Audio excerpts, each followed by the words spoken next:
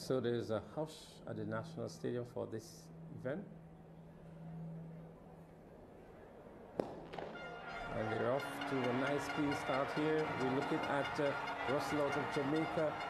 Uh, Russell is uh, way behind, but way out in front is Jhevaughn Matherson. Matherson. Russell picks up. Ladies and gentlemen, we have to leave you now. We thank you for viewing. That's it for the end of the day. We jo join us back tomorrow for more live action at the Green International Stadium. Thank you for viewing.